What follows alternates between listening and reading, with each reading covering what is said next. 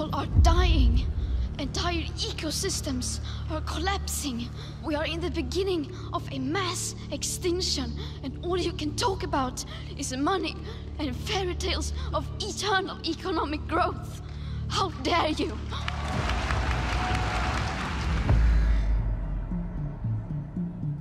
This is the story of how an eccentric environmental scare grew into a powerful global industry. It's a wonderful business opportunity, okay?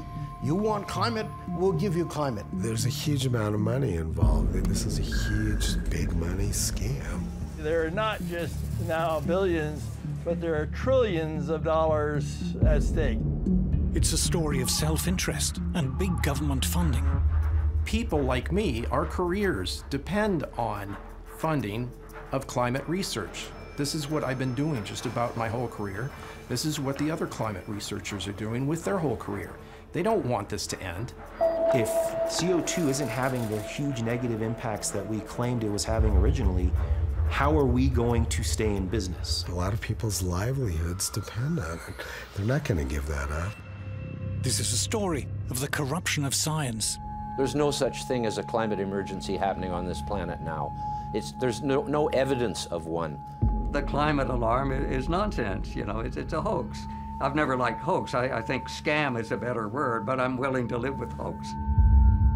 It's a story about the bullying and intimidation of anyone who dares to challenge the climate alarm. To speak up against or about climate change in any sort of skeptical way was essentially career suicide. Activists are even calling for any skepticism to be criminalized. It's the story of an assault on individual freedom. It's a wonderful way to uh, increase government power. If there's an existential threat out there that's worldwide, well, you need a powerful worldwide government, you know, to cope with it. We see all these kind of uh, authoritarian measures being adopted in the name of saving the planet. You've suddenly got the population under control all over the world.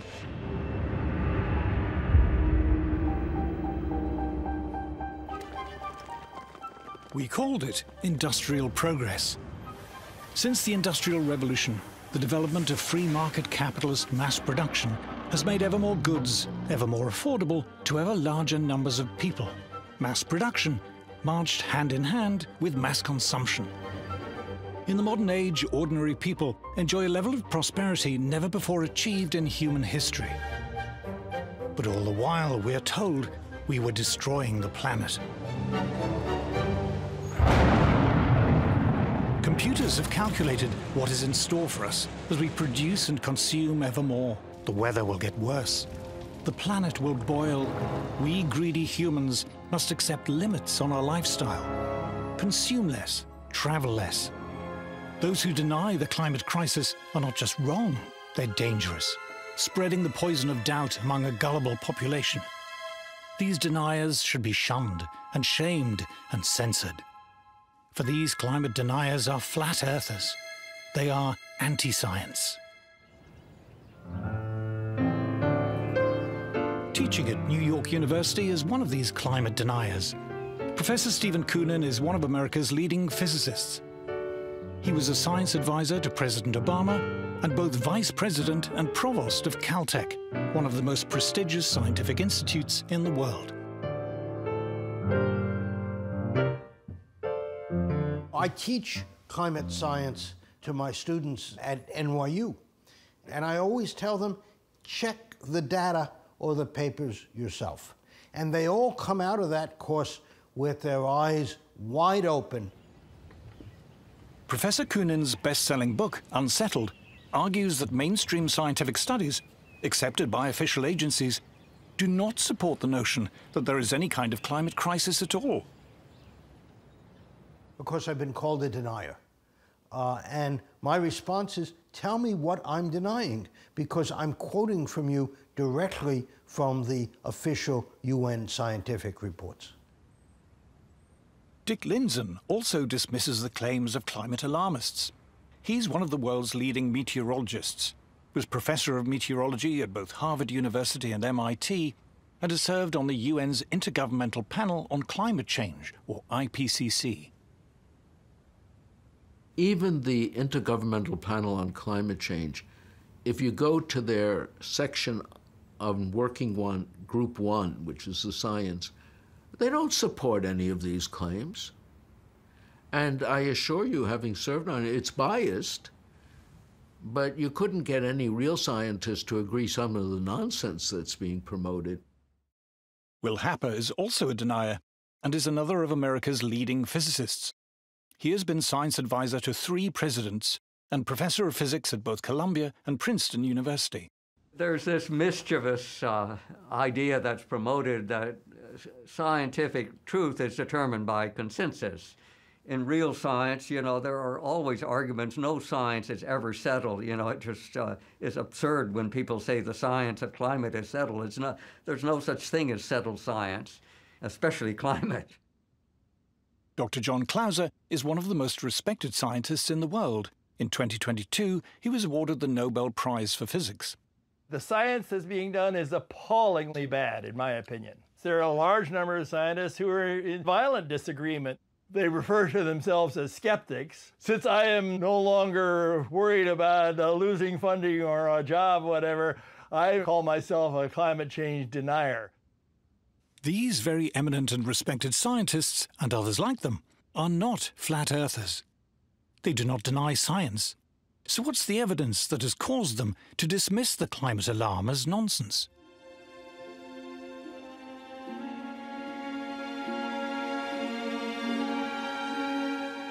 We are told that current temperatures are unprecedented and dangerously high. It's possible to check if this is true because we have evidence of Earth's climate history dating back hundreds, thousands, even millions of years. The desert of Judea by the Dead Sea. Professor Nir Shaviv from the Racah Institute of Physics has come here looking for clues. Thousands of years ago, this place was underwater, and etched into the rocks are lines which, if you know how to read them, tell the story of Earth's climate history. And here's the climate. We're at the uh, lake bed of uh, what used to be Lake uh, Lisan. Um, it's a lake that existed until uh, the end of the last ice age. Uh, back then, uh, the lake level was maybe 100 meters above where we're located. When we want to reconstruct climates of the past, we have to look for evidence for clues. And when the lake existed, it had deposits. And by looking at these uh, layers here, we can actually reconstruct how the climate has changed. Warmer water means more life, the accumulation of more shells and bones from sea creatures, and other changes that are reflected in the ancient layers of the lake bed.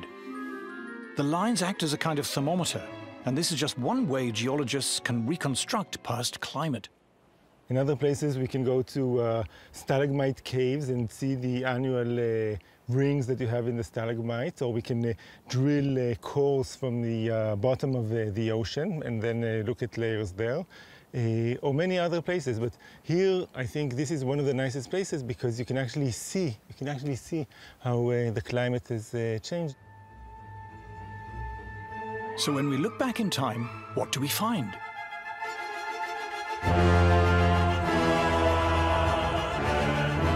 200 million years, dinosaurs roamed the Earth. An Earth marked by fertile, dense forests, teeming with life. And at no time during those 200 million years were temperatures as cold as they are today.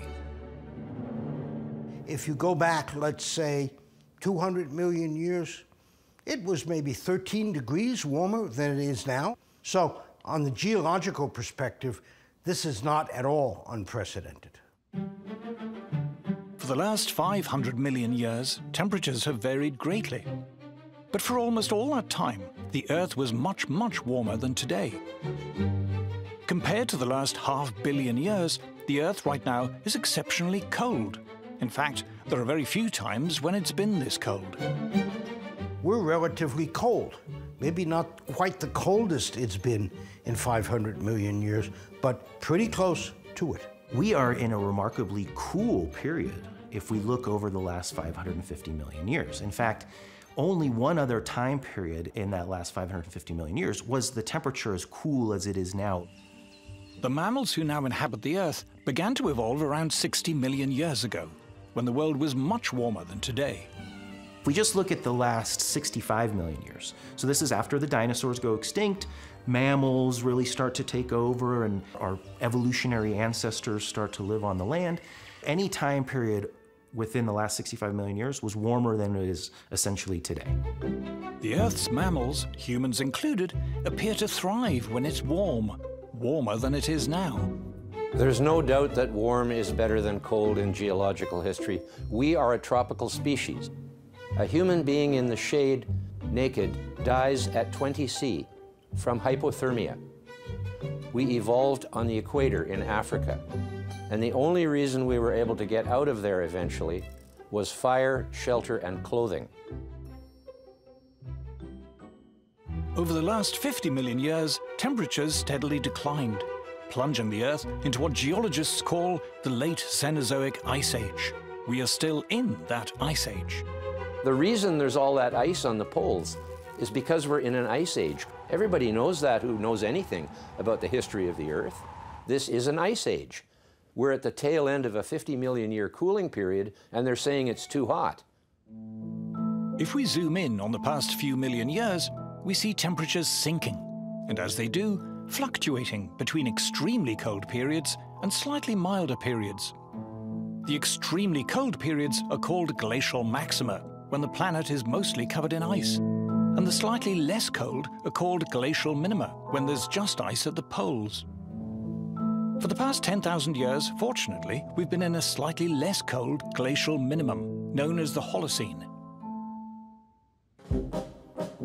With milder weather, humans began to emerge from their caves, and several thousand years ago, we see the rise of the first great civilizations, in a blissful period which, according to many studies, was considerably warmer than today. This is known as the Holocene climate optimum. It was called an optimum because people thought that warmer was better. Since then, temperatures have declined and begun to fluctuate. In Roman times, there was a blissfully warm period, followed by a brutal cold period in the Dark Ages. Then came the balmy medieval warm period, according to many studies, as warm or warmer than today,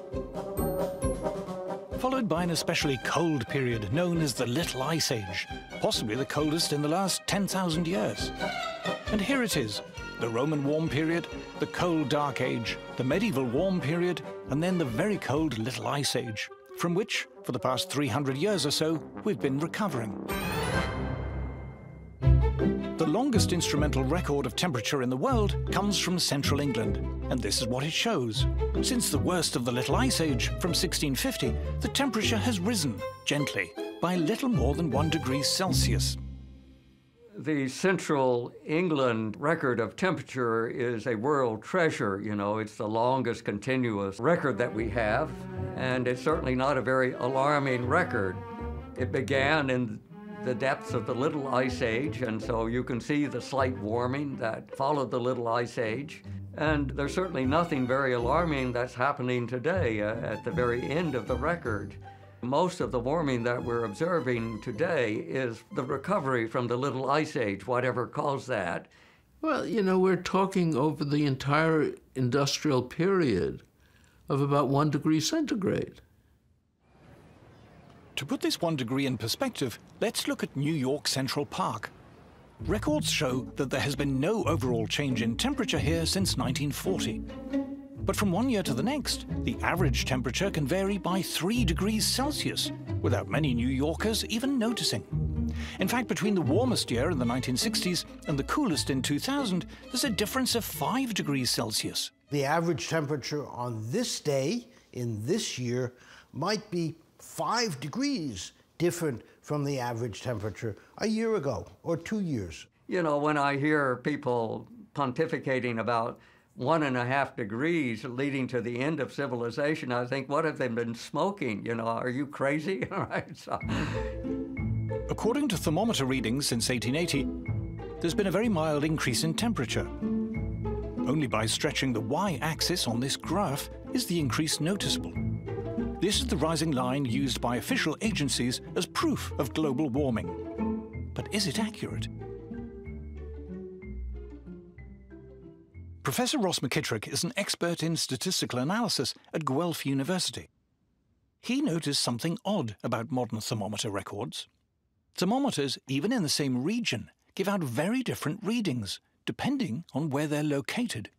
I was interested in the question of how do you explain the spatial pattern of warming? So some places warm a lot, some places don't warm much. And it turns out it's highly correlated with the spatial pattern of economic activity. Where there are more people and there is more human activity, there's more heat. This is known as the urban heat island effect. Urban heat island effect is essentially London, right? You pick London. With buildings, with a, a lot of activities, tends to be a, a, few degree. I mean, we're talking now Celsius, right? Even four or five degrees Celsius warmer than outskirts.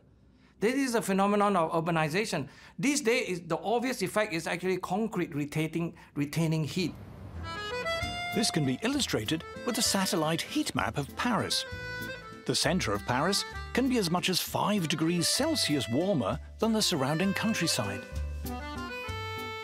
Paris, London, Beijing, Shanghai, you name it, New Delhi, all of them absolutely demonstrated the effects.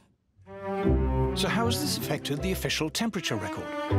In the early part of the 20th century, it was normal to erect weather thermometers just outside towns, close enough to check every day, but away from the heat of urban life. But over the 20th century, those towns have expanded. Suburbs have spread, there are more roads, more cars. Thermometers which were once outside towns are now surrounded by shopping malls, offices, factories, and houses.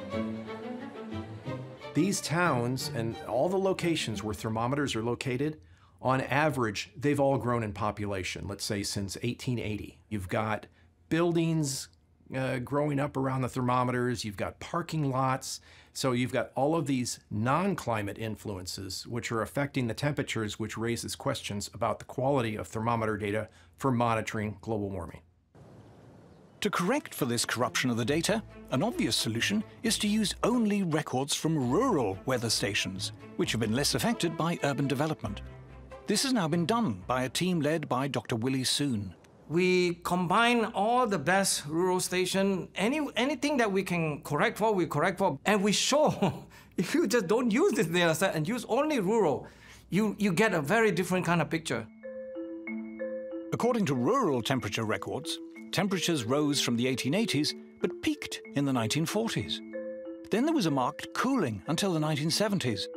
After that, temperatures recover, but are still today barely higher than they were in the 1940s what we see is that basically you have a warming from the 1900, 18, you know, 50s or so to 1930s and 40s and started to warm and then cool in a substantial way to the 70s, about 76 or so. Instead of a long-term systematic warming trend, it has a variability, multi-decadal, like every 50, 60 years or so, kind of a variation. It's not just rural thermometers that show little warming. Merchant ships and other naval vessels have been measuring the temperature of the sea since the 19th century. In red, we see the land temperature record since the 1860s, which has been inflated by urban thermometers. But in blue is the ocean temperature record. From around 1900, the two begin to diverge. Ocean records show far less warming in the 20th century, and the pattern more closely resembles the rural temperature record. Sea is not supposed to be quote unquote contaminated by urban heat island effect. Am I right? Yes? So when we compare the two records, within the range of uncertainty, this behavior actually fits. Scientists have also studied temperature change by looking at tree rings, which again shows very little warming.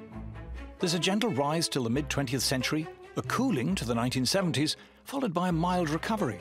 Once again, it shows temperatures today are barely different to those of the 1930s and 40s, and the pattern closely resembles rural temperatures. Satellites, too, seem to be telling a different story. Our ability to measure global temperature accurately took a leap forward when satellites began to orbit the Earth. One of the scientists who pioneered the use of satellites to measure temperature is Dr. Roy Spencer, who in the 1980s was senior scientist for climate at NASA's Marshall Space Flight Center. We were discussing over lunch, isn't there some way we can use satellites to monitor global temperatures? Because, as you know, the temperature network of thermometers is pretty skimpy around the world, so it's kind of hard to get a global temperature. Dr. Spencer's development of weather satellites was revolutionary. He and his colleague, Professor John Christy, have been awarded NASA's Medal for Exceptional Scientific Achievement. Our satellite data begins in January of 1979. That's when we have complete global coverage, uh, and we have it right up to the present. There was one critical question about temperature that satellites were singularly well equipped to answer. Has there been a spurious warming that has crept into the global temperature record over land uh, that's a, just a result of an increase in population? And that's something that we've been analyzing and working a lot on lately. And we're finding that, especially in urban areas, uh, it's large. I mean, since 1880, most of the warming, it looks like, is due to the urban heat island effect. We're lucky to have a few independent scientists like John Christy and Roy Spencer with their satellite measurements of temperature. You know, before they uh, started releasing this, ground-based temperature records were going wild. They, were going up, you know, like crazy with no, no bounds. But now they have to contend with the fact that there's this independent and probably better way of measuring the whole globe's temperature, which is not alarming at all. Evidence from multiple sources now agree that the official global temperature record, as used by world governments and reported in the world's media, is showing far too much warming over the last 120 years, artificially inflated by urbanization. You look at the weather balloon record, the satellite record, the rural record, the ocean record doesn't warm nearly as much as land. All of these indications show that the, like the big warming pulse in the record is the northern hemisphere land record. And that's also where most of this data contamination is happening. But of the mild warming that has taken place in the last three to four hundred years, can any of it be attributed to human emissions of CO2?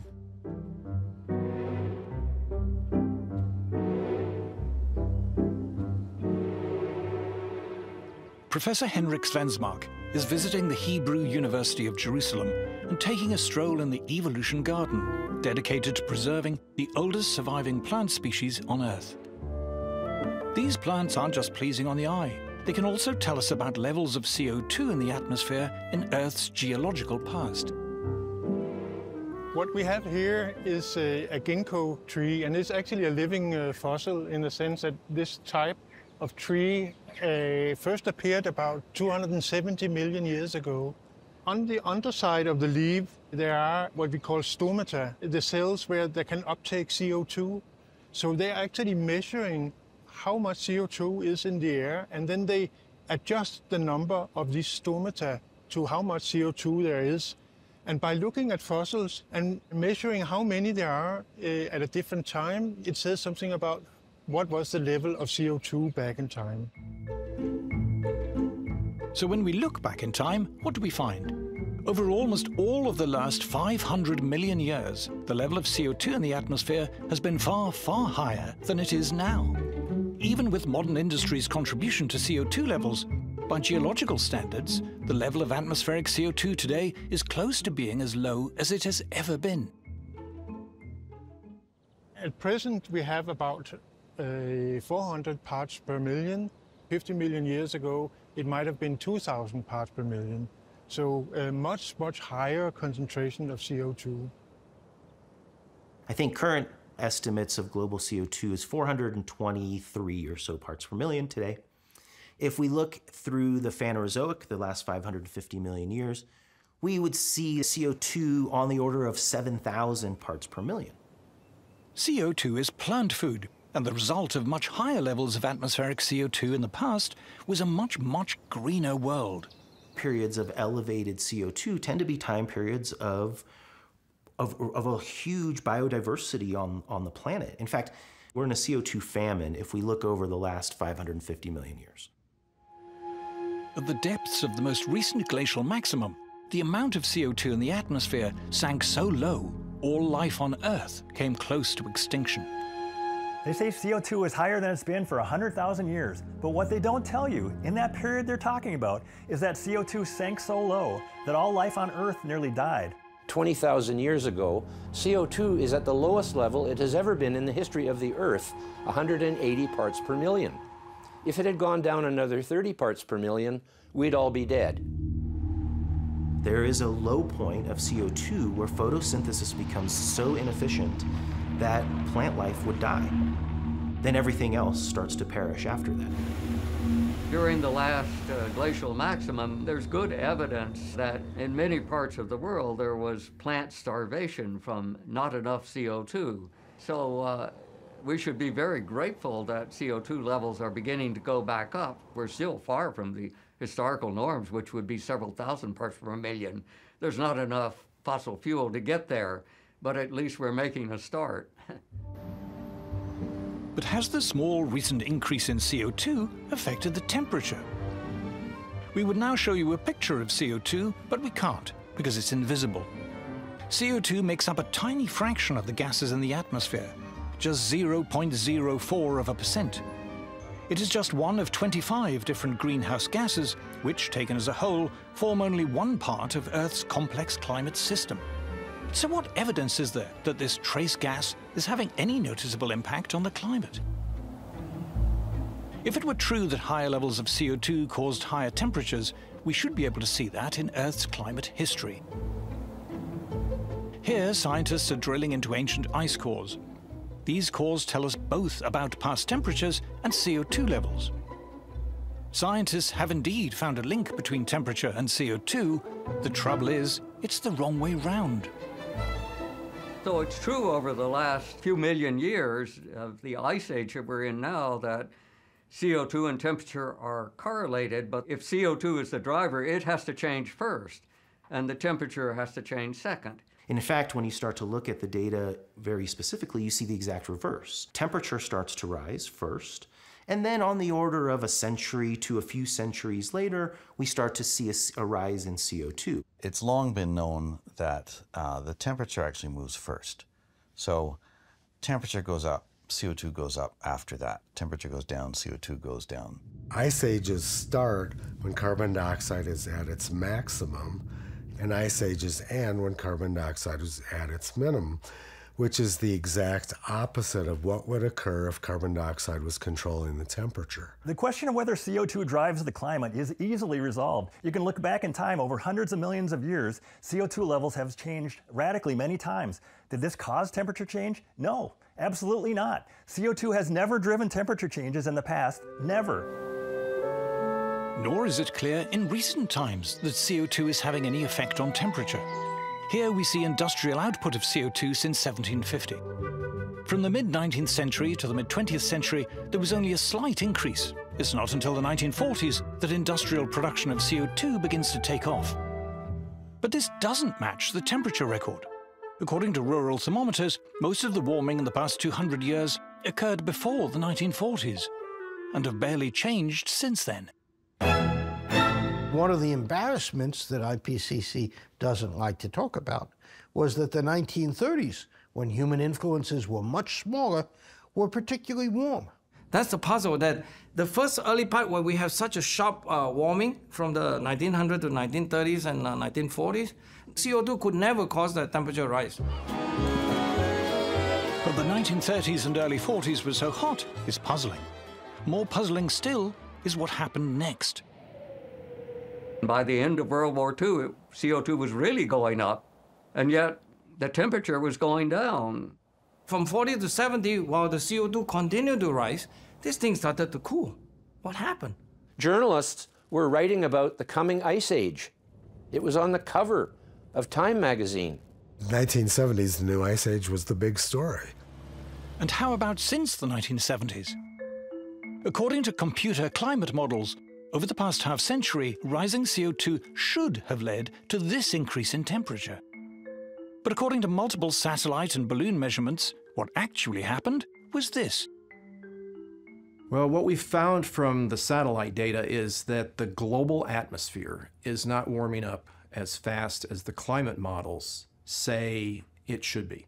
Uh, there's a couple dozen climate models now that have been worked on for decades. You know, billions of dollars, tens of billions of dollars have been invested in these climate modeling efforts. And we find that generally speaking, virtually all of the climate models produce too much warming over this period since 1979 up to the present. Now, even if we say the surface thermometers are correct, they still don't produce as much warming as most of the climate models say there should have been, let's say, in the last 50 years. The models, individually and even collectively, when you average over all of them in so called ensembles, they don't get it right. You can already see that the main uh, supports of the climate alarm movement, which are these enormous computer models, they're clearly wrong. They, they don't agree with what we observe. You know, they, uh, they're all running much too hot. They don't get the geographical distribution of temperatures anywhere close. They don't get El Nino, La Nina cycles. Uh, they're, they're just nonsense. All climate models are based on the assumption that CO2 drives temperature change. But actual observations and historical evidence clearly suggest that it doesn't.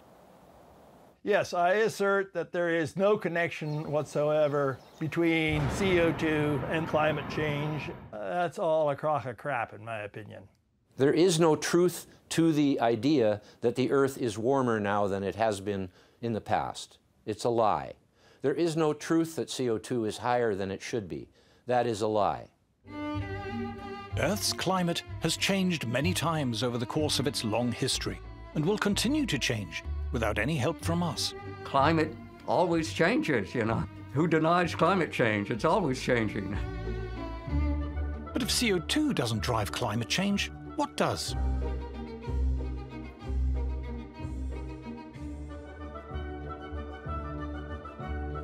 In Earth's atmosphere, there are powerful forces at work, and perhaps the most powerful of all are clouds. CO2 is quite unimportant in controlling the Earth's climate. What is important is clouds. Clouds don't absorb any energy at all. They simply reflect all of the sunlight back out into space. Big, bright, white clouds.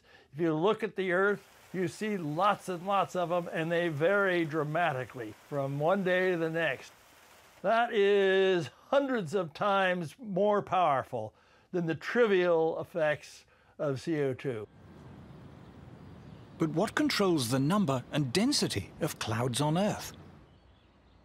Professor Henrik Svensmark from the Danish National Space Institute is in Jerusalem with the astrophysicist Nir Shaviv. Together, they've been exploring cloud variation and its effect on climate. And strangely, they've found a link between clouds and exploding supernovae far off in our galaxy when we have big stars, they don't live very long. Uh, I mean, relatively only maybe uh, a few million years, uh, up to 40 million years. But they end their life in a huge explosion, which we call the supernova. An exploding supernova sends out vast quantities of debris, tiny charged subatomic particles known as cosmic rays, traveling almost at the speed of light. And as they hit Earth, they develop into seeds which attract water vapor and form clouds. Professor Shaviv noticed that the amount of cloud cover on Earth is related to our journey round the Milky Way. As our solar system orbits the galaxy over millions of years, it passes through the galaxy's spiral arms, dense clusters of stars. As it does, we are exposed to more or less cloud-forming cosmic rays, and this corresponds to historic temperature changes on Earth. The really mind-boggling thing is that using geology, you can reconstruct the climate on Earth over the past billion years, and you can reconstruct our galactic journey, and both tell the same story. But what about temperature change on shorter timescales?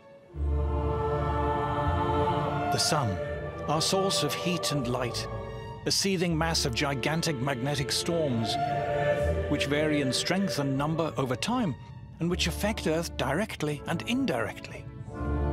When it is very active, the Sun sends giant gusts of solar wind through the solar system. The solar wind warms us indirectly by acting as a barrier, limiting the number of cloud-forming cosmic rays reaching Earth.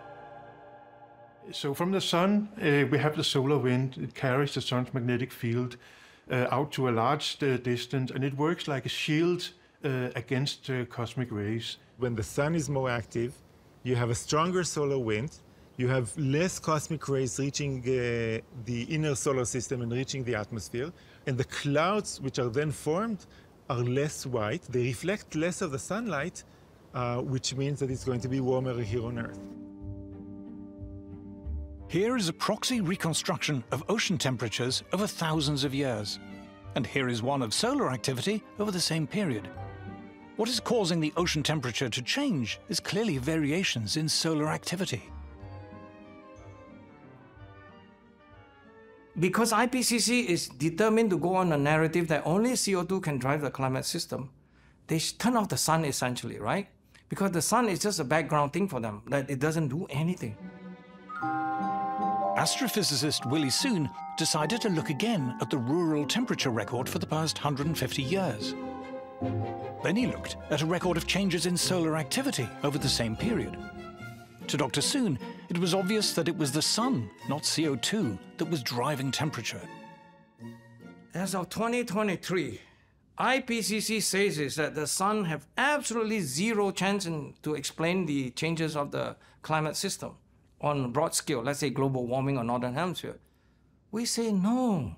We can easily demonstrate the sun can explain all of it. There's zero for the CO2, 100% for the sun. How's that? Why are these and other studies never reported in the mainstream media? And if climate change is natural, what are we to make of the alleged terrifying increase in extreme weather events? Of the heat waves and hurricanes, of forest fires, droughts, and the rest?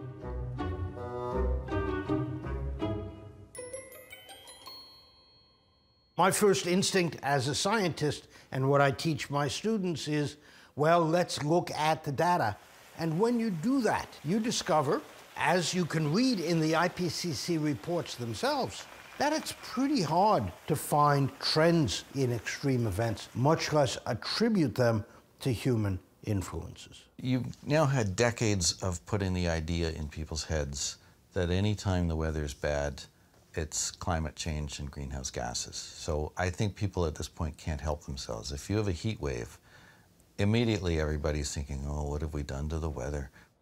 If somebody says in the news this is the warmest day since 1980 or something, well, you can look up the temperature records and see for yourself whether it was in fact warmer in the 1930s, as it often is. US temperature records are the best in the world. And here is the official US government record of heat waves in the US over the past century. It shows very clearly that the 1930s were far more prone to heat waves than we are today. Not only were there more heat waves in the 1930s, the heat waves then were much hotter than those of today. Likewise, official figures show that the number of hot days in the US has markedly declined. The United States was much hotter in the 1930s. North Dakota reached 121 degrees. Um, South Dakota was 120 degrees. Wisconsin was 114 degrees. These sort of temperatures are just completely out of range of anything people experience now. A common mistake is to suppose that higher average temperature will mean more hot weather. But this isn't true. Here again is the Central England temperature record, the longest instrumental temperature record in the world. Summer temperatures over the past three to four hundred years, since the end of the Little Ice Age, have barely changed at all. It is winter temperatures that have been slightly rising. The Earth's climate has not been getting hotter, it's been getting milder. That's certainly being observed all over the world. If you look at temperature records, high temperatures are almost unchanged. But cold temperatures at night or during the winter are, are going up a little bit. Not very much, but you can measure it. When the average goes up, it's really more due to the coldest temperatures getting warmer. So the temperatures getting milder rather than getting hotter. What about the increasing number of wildfires we're often told about? If you look at the actual number of forest fires from satellite observations, the actual number is going down. Here is an estimate of global wildfires since 1900. It shows a clear decline. And here is a record of areas affected by wildfires in the US. It shows that wildfires were far, far worse in the 1930s. From 1930s and 1920s, when you have data, the thing was huge. Five to 10 times bigger than the current level. How about hurricanes? The US has by far the best record of hurricane activity in the world. Over the past 120 years, there is no overall change. In fact, the trend is slightly down. When you look at the data for hurricanes, technically tropical cyclones, you see that there is no long-term trend. How about the rest of the world? Here is a chart of global hurricane activity over the past 40 years. Hurricanes have been around forever. You know, we've got good proxy records of hurricanes, and uh, there's been no change in their frequency. Even the IPCC admits that. How about melting ice caps and drought? Here's a satellite record of temperature in Antarctica since the late 1970s. It shows no increase whatsoever. And here is a record of global drought since 1950. There is no observable increase at all. Polar bears are meant to be going extinct, but studies suggest their numbers are growing. The Great Barrier Reef, too, has recently reached record levels. There's no such thing as a climate emergency happening on this planet now. It's, there's no, no evidence of one. Yeah, the extreme weather event story is, is just absurd. There, there's no basis to it at all. It's just based on propaganda. The actual data shows the opposite. I've shown you the official data, the official science. Tell me what I'm denying. The climate alarm is nonsense. You know, it's, it's a hoax. As, as I, I, I don't, I've never liked hoax. I, I think scam is a better word, but I'm willing to live with hoax. But why are we told, again and again, that man-made climate chaos is an undisputed scientific fact, beyond question, beyond doubt? To answer this, we must examine the so-called consensus on climate change. Thank you very much. Until the 1980s, global warming was little more than an eccentric scare story put about by radical environmentalists. But then the cause was picked up by an ambitious young senator, Al Gore, who would soon become vice president. A billion dollars a year of public money was made available for research into climate change. This quickly rose to two billion. Up to that level. Academic researchers in various disciplines began to apply for this climate funding. If you want to qualify for money that's labeled climate, well, you take whatever you're doing and you add a little bit uh, of climate speak to it, and away you go. You're dealing with the sexual habits of cockroaches. You'll add, and the impact of climate. So all I have to do is add a little wrinkle to my grant application to explain how, well, I'm worried that climate change will mean the death of all the maple trees. And so right away you qualify for funding. Academics of every kind lined up for climate funding. Climate became an exciting new area of interest for sociologists, biologists, professors of English literature, lecturers in gender studies, and many more. And it also served to create a community. I mean, you know, you've become a climate scientist now, even though you know nothing about the physics of climate. Thousands of papers were published on climate change and prostitution, climate change and beer, climate change and the Black Death, climate change and disability, climate change and video games, and everything else imaginable. There's an almost comical list of studies out there. Just do a Google search on climate change and, and, and everything comes up. Few of these papers ever questioned whether climate change was actually true. After you've done the research and you write the paper up, sometimes you'll find there's no effect at all from climate, but you still have to say in your papers, oh yes, climate change is real, and uh, we just need to study this some more. Since so few of these so-called climate studies challenged the idea of climate change, it was declared that there was a scientific consensus. climate change must be true. Climate also became a new focus for government-funded research bodies. Scientific research in the United States tends to be dominantly funded by uh, government grants. Uh, and so whatever government grants are offered uh, sort of determine much of the science being done. It was during the Cold War that many government research bodies were set up. But the end of the Cold War and pressure on government spending has left many of them struggling to justify their continued funding. United States Congress only funds problems, okay, research into problems, whether it's money that goes to NASA or NOAA or National Science Foundation or Department of Energy or any other alphabet soup, you know, organization. Uh, it's always been a problem to support uh, your research or your existence, or raison d'etre. And so climate was a godsend. If Congress is willing to pay you to find evidence of global warming, by golly, as a scientist, we're going to go find evidence of it because that's what we're, what we're being paid to do. And guess what? If you don't find evidence or say the evidence suggests it's not a problem, your funding ends. This totally corrupts the way we look at the science. Who was the famous gangster asked, Why do you rob banks? Uh, and he said, Well, because that's where the money is. Climate alarm brought funds, and the bigger the supposed threat, the more funds seemed to flow. The publicly funded science establishment now had a direct financial interest in playing up the alarm. So there's a huge incentive to over exaggerate or to speak in hyperbole, even if the data doesn't support exactly what you're saying, because that's what brings the funds. I was in that boat. I was someone that was defending climate change as a grad student quite a bit because the truth is I didn't give it too much thought, but I, I thought, well, it's getting a ton of attention. It brings a ton of money into the earth sciences. Even if I don't buy all the hyperbole, what's the problem? By the late 1990s, what had started as an environmental scare story was gaining momentum.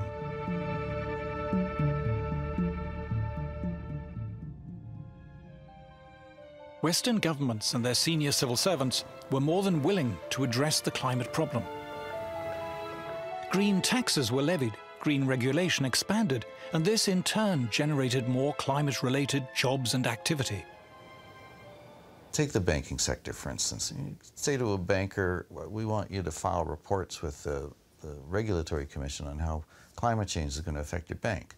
Well, a banker doesn't know anything about this subject, so then they have to commission studies from academics. And of course, the academics are happy to come and tell them, well, it's going to be terrible for your bank. It's going to cause all kinds of problems, and you, you need to give us money to research this. Green subsidies and regulation meant there was now money to be made in climate. Renewables firms sprouted. Consultancy firms offered advice on what they called sustainability and climate compliance. It's a wonderful business opportunity, okay? You want climate, we'll give you climate. The renewables industry alone now turns over a trillion dollars a year, and that's expected to double in the next few years. What used to be a cottage industry has, is now blossomed to become a major part of the world economy. The growth of this climate industry has seen an explosion of highly paid green jobs. Chief sustainability officers, carbon offset advisors, ESG consultants, climate compliance lawyers, and countless others. Students started to come into our departments as earth science departments with a focus on climate. That never happened before. But they started to look at their career prospects and they were smart and they were looking at who's hiring and the fact of the matter was is that everything in the hiring pool had climate somewhere attached to the name. I started a few years ago seeing programs like uh, a master's degree in climate finance. And I just went, what on earth is, is climate? I don't understand what a master's degree in finance is. Well, now you need a university that's going to teach this program. You need professors of climate finance. Every single school or university or business will have a climate officer or climate officers and a climate program. And you look at any of these institutions or businesses, you will find they all are signed up to it, and anyone who hasn't signed up will come under pressure. At the last gathering of the publicly funded UN's IPCC, 70,000 delegates flew in from around the world. Government bureaucrats, green NGOs, carbon sequestration consultants, environmental journalists, heads of renewables companies. But this is just the tip of the iceberg. Many hundreds of thousands of jobs worldwide now depend on the climate crisis.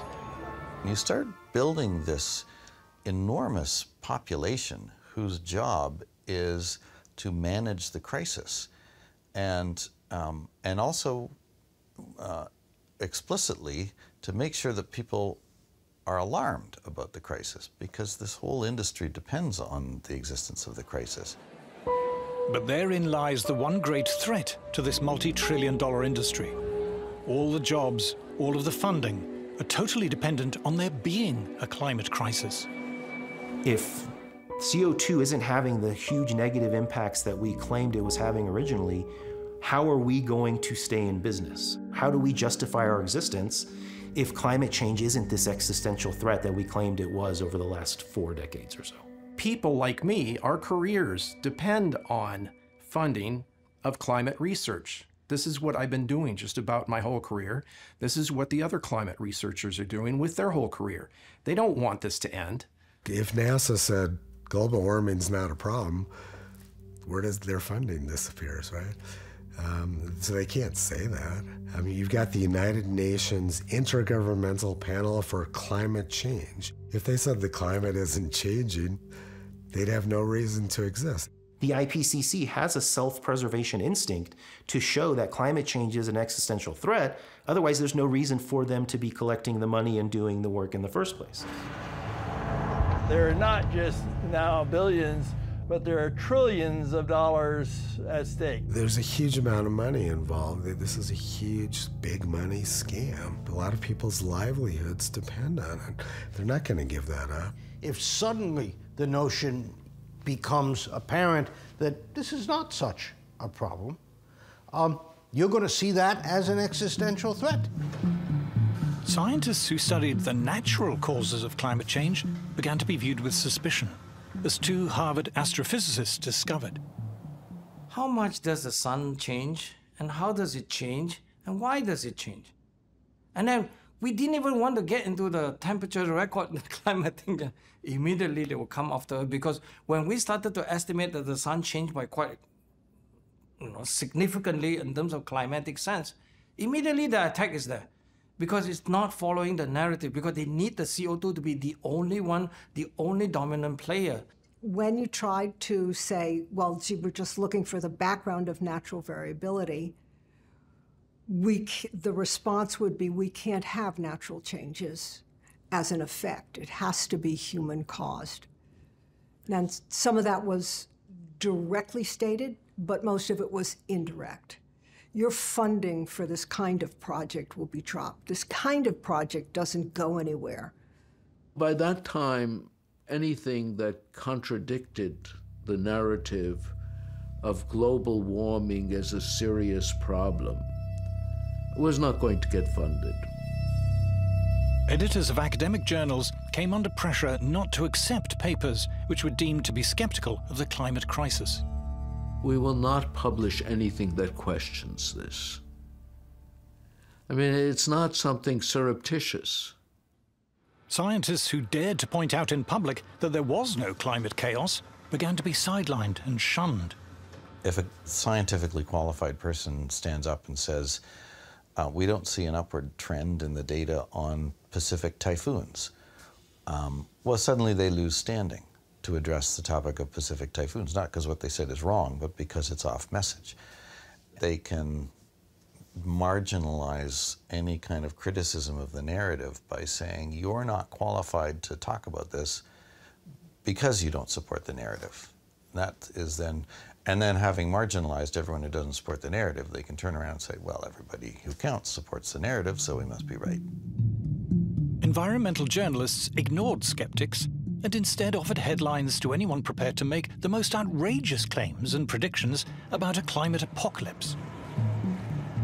It's gotten to where it has nothing to do with the science anymore. It doesn't matter if your alarmist prediction doesn't come true, you're still going to retain your status as an expert, and the media is still going to come and ask you for your opinion, even though you were crazy wrong about your predictions. But the consensus on climate is not only enforced by those in the climate industry. To explain the broader appeal of the climate alarm, we must look at the politics behind climate.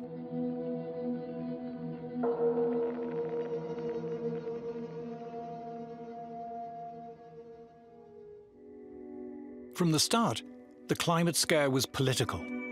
It came from the environmental movement, the sworn enemy of free market industrial capitalism. Finally, we've got them. We can claim that it is the free markets who are destroying the planet, and we need big government to save us. The climate problem, it is said, stems from the irresponsible actions of greedy, feckless individuals who have too many babies and drive too much and consume too many products, and of the capitalist corporations who pander to their whims. The solution is for government to have greater power to regulate private companies, but also to guide and reshape the lives and habits of individuals.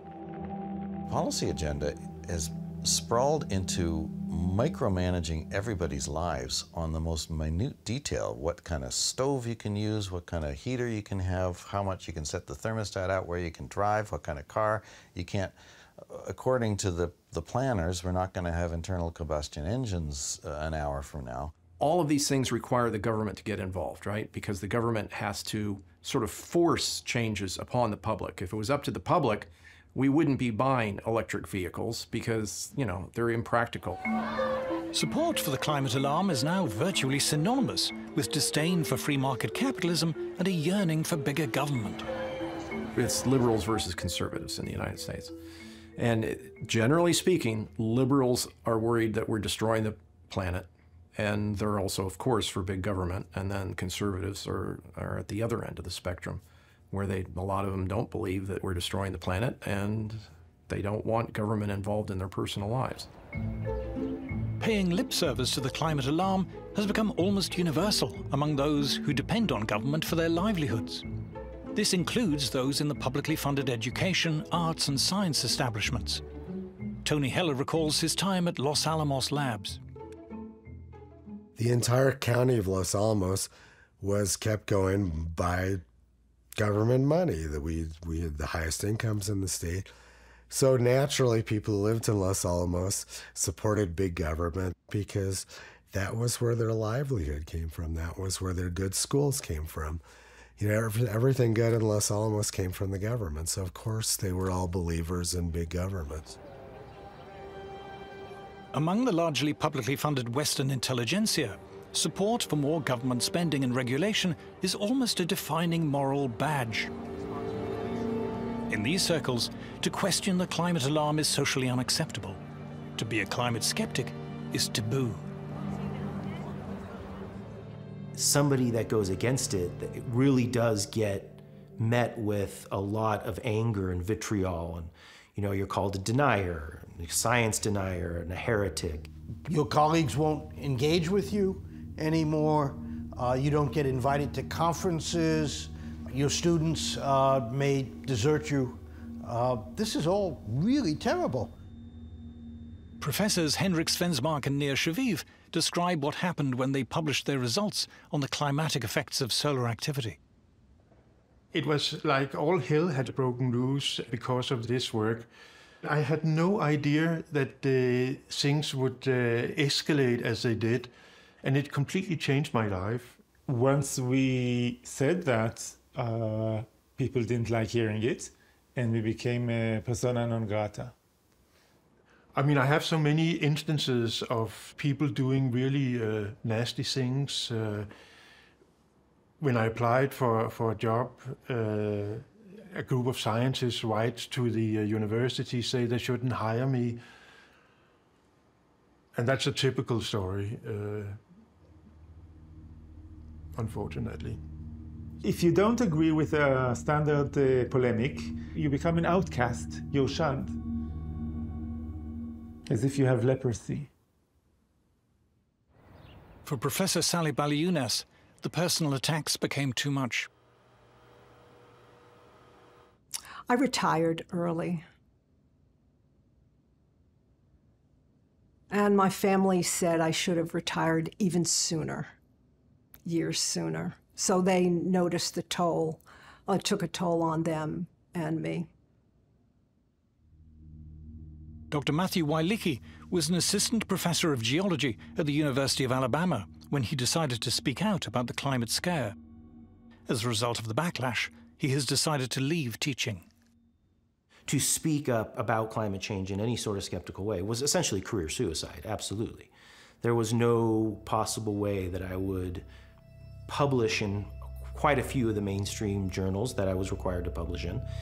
I essentially isolated myself from many of the funding institutions.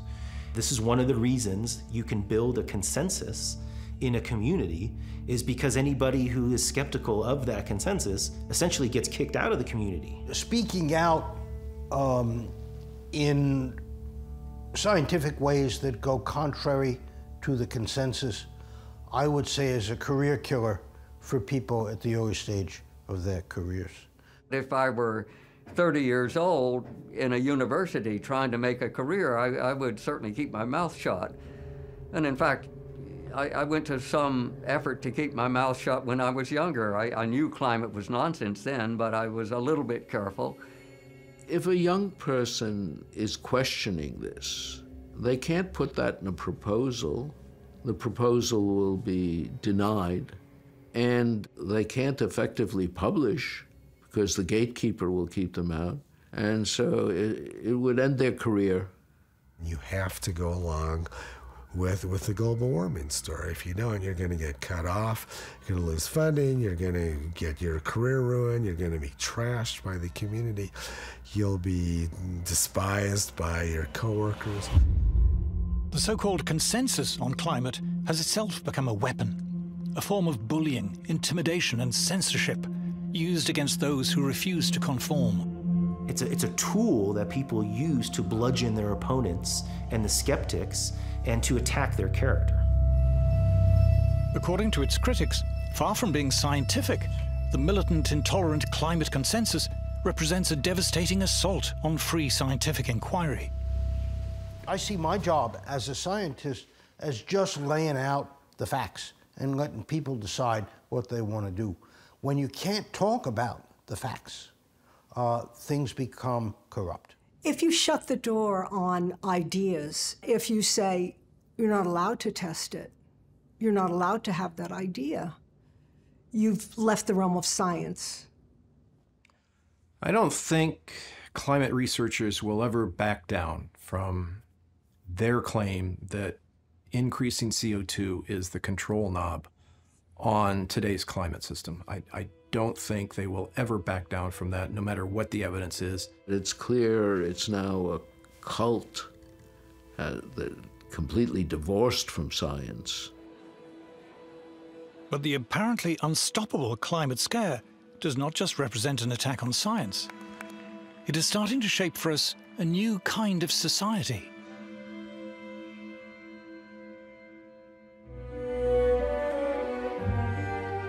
Environmentalists like to pose as anti-establishment, but their demands are well received and piously echoed by King Charles and the Archbishop of Canterbury, the BBC, the UN, the EU, by heads of government, the World Bank and World Economic Forum. In fact, by the entire state-funded ruling establishment. Global warming is like the perfect problem that government can get involved in to grow the influence of government. It's a wonderful way to uh, increase government power. And uh, if there's an existential threat out there that's worldwide, well, you need a powerful worldwide government, you know, to cope with it. If you're a climate activist, you're actually facilitating a huge uh, uh validation of the government running our lives many environmentalists, most environmentalists, all environmentalists who consider themselves to be radical, progressive alternatives are in fact simply reinforcing the mantras and the mainstream arguments of the entire establishment. The demands on the government mean that the government suddenly gains the authority to interfere into every nook and cranny of our lives and how we live. Everything has a climate narrative attached to it. How much you consume, where you spend your money, how much you travel, who you interact with, what types of food you eat, whether you eat meat. Everything has some sort of aspect that can be controlled with a climate lens. Suppose 20 years ago somebody had hatched the idea that I would really like to ban cheap energy. I'd really like to control everybody's appliance purchases. I'd really like to tell everybody where they can go. And basically, I'd like to have dictatorial control over everything. Well, it's not going to fly. No, everybody would think you're a nut and would ignore you. But fast forward 20 years, that's what's happening. The publicly funded establishment in the West is so large and powerful it is able to impose and enforce the official consensus on climate through its control of schools, universities, government, and much of the media. State broadcasters like the BBC exclude climate skeptics. Broadcasting regulatory bodies forbid private stations from disseminating skeptical views, threatening them with having their broadcasting licenses revoked. What normally happens in an emergency is that all normal forms of openness and democracy have to be suppressed because how else to deal with an emergency? So we are facing a situation not unlike lockdown where basically all normal forms of behavior, normal forms of social communication and so normal forms of democracy are essentially ruled out activists are even calling for any skepticism to be criminalized. In certain jobs and professions, it is now dangerous to express dissent on climate. It's no surprise that people uh, who are more skeptical will think twice before uh, voicing their concerns because they might risk their careers, they might risk their business, they might risk being sacked. If you're a professional of any kind in science or law or medicine, if you belong to a professional association or you are in a university, uh, you can be fired for saying what you believe.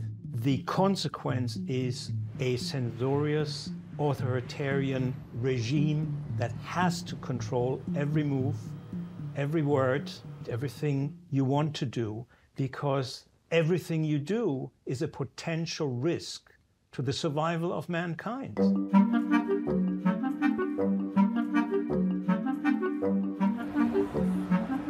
Climate protesters condemn capitalism. But at their anti capitalist rallies, it's hard to spot anyone who looks like a worker, like a docker, or crane driver, or steel worker, or a beautician, or a trucker.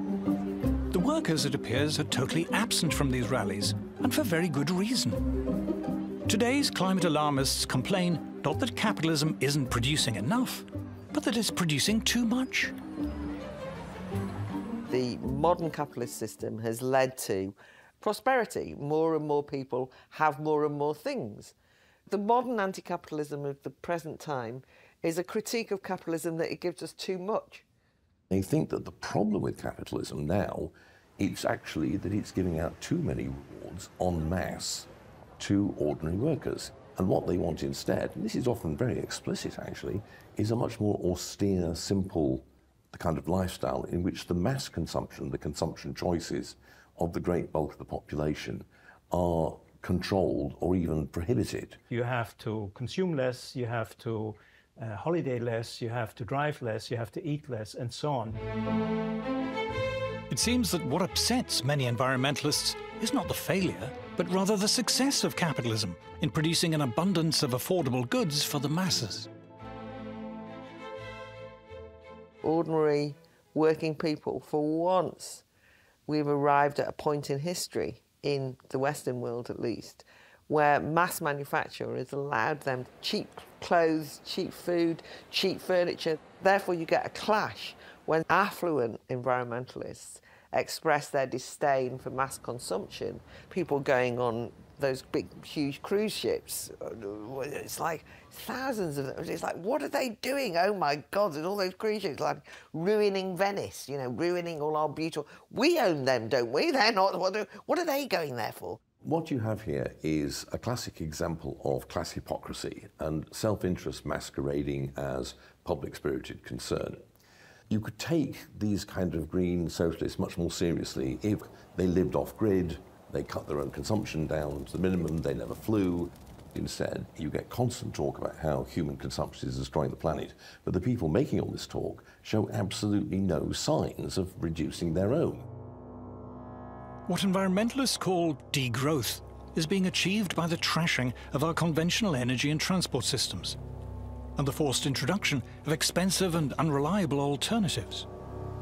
Already this is having the desired effect on industrial manufacturing, which is straining under the burden of punitive green taxes and regulation and higher energy prices.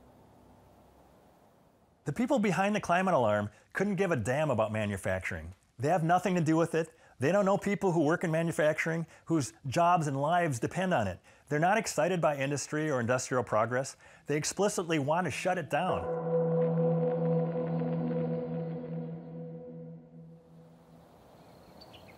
Kisii, Kenya, East Africa. According to many leading environmentalists, the world's poorest people should not aspire to the lifestyle of people in the first world. The planet will not cope. Grace Nyakananda is one of the many Africans who do not have electricity or gas to cook with or heat their homes. The resulting indoor smoke from burning wood and dry dung is the deadliest form of pollution in the world. For millions, the cause of lung disease, blindness, and early death.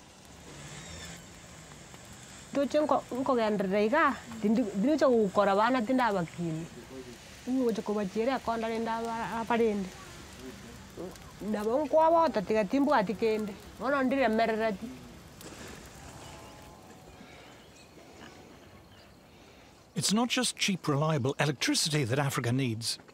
Agricultural productivity here is incredibly low. Increasing it takes fossil fuels to make fertilizer and drive tractors and other farm machinery.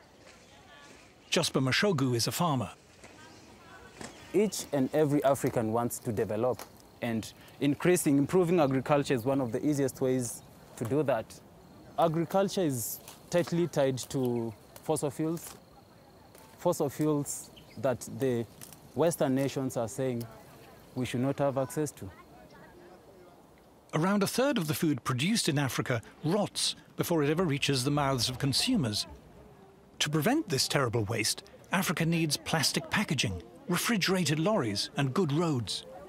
All are opposed by Western environmentalists. All come with industrial development. All rely on affordable fossil fuel energy. Diarrhea from drinking dirty water still kills hundreds of thousands of African children. But clean water requires large industrial water purification plants and a modern water supply network. And this will come only with cheap energy. I think it's pretty obvious that the West has got what it has because of fossil fuels. When people say Africa doesn't need fossil fuels, I wonder. I don't think they want what's best for us. They don't want us to develop, and that means we continue being starving, we continue being uh, poor. Most people don't know what climate change is. They don't care. They just they want food on their table. They want to beat poverty. They want to beat hunger. They need money to better their lives. They want to flourish. That's just it. When they use the word sustainable development, they're talking about no development. Exactly. I mean, the point is, is that you know to develop sustainably means not to use too much energy, not to use too much carbon. You know, net zero. The idea that you mustn't use too many resources. The fact you mustn't produce enough consumer goods because consumption is bad. So ultimately, you know, the idea of development is out the window. The Greens think the Africans should never use their resources the way the Europeans or the Americans or the Canadians or the Australians have used theirs. They are also in favor of punitive taxes, border taxes on any African country that wants to export their goods to Europe if they do use their resources. So that sums up the ethical ruthlessness and, and depravity of the green agenda. But climate alarmists have a problem. Many countries in Africa and across Asia are simply ignoring the environmentalist demands of Western governments and international agencies. Communist China is estimated to be building an average of two new coal power plants a week. China now uses more coal than the rest of the world combined. Which is one of the reasons why this whole climate agenda is falling apart because the rest of the world is not cutting emissions, is not moving to renewables. In the West, too, for many people, climate alarmism is wearing thin. Ordinary people are not stupid. They have seen one ridiculous claim after another fail over and over. What this does is leave people with a profound and justified cynicism about what the scientific establishment says and about what the government says. To fix the climate crisis, we're told, we must give up our cars. We must pay more for fuel, heating, clothes, food, fly less, limit where we go. This attack on mass travel, mass tourism, mass consumption holds little appeal to the masses. People have started to realise it's going to cost them a lot of money to simply live the lives that they weren't leading, that they want to lead. And as soon as that started to happen, I could see people in the United Kingdom who had previously been indifferent to environmentalism suddenly think, how dare they do that, right? How dare they try and take away what we consider to be not luxuries, but necessities? The whole policy of sustainability is about restraint. It's about restriction, it's about doing less. Um, and that, obviously, for most people, is anathema to their everyday needs. The fact that there is actually an ideological movement of people who think that cheap mass production of whether it's houses or anything else is a problem. I mean, for God's sake, no wonder people become uh, disdainful of the kind of middle class outlook of environmentalism. But that is literally what people say. How can we stop people buying cheap things in shops? When climate protesters climbed onto an underground train in London's East End, they were not cheered on by working commuters. They were held abuse, pelted, angrily dragged off the train, and received rough treatment on the platform. If you were to go into a pub uh, frequented mainly by what the Americans call blue collar workers, you will find that uh, being skeptical about climate change policy is not going to get you uh, thrown out. Quite the contrary, somebody will probably buy you a drink. They can tell that behind all the talk about climate emergency, climate crisis, what there actually is is an animus and a hostility towards them, their lifestyle, their beliefs, and a desire to change it by force if necessary. Punitive and restrictive policies, carried out both in the name of climate change and COVID, have sparked protests in Britain, Canada, and other Western countries. Anti establishment politicians and movements are gaining support. What they, what they underestimated was the fury that this would meet uh, with ordinary people who just say, you can't do this, so you suddenly get this new movement. Many working people are not merely skeptical, but positively angry about the climate alarm and all that flows from it. There is a suspicion, or perhaps realization, that climate change is an invented scare, driven by self-interest and snobbery, cynically promoted by a parasitic, publicly funded establishment hungry for ever more money and power. An assault on the freedom and prosperity of the rest of us.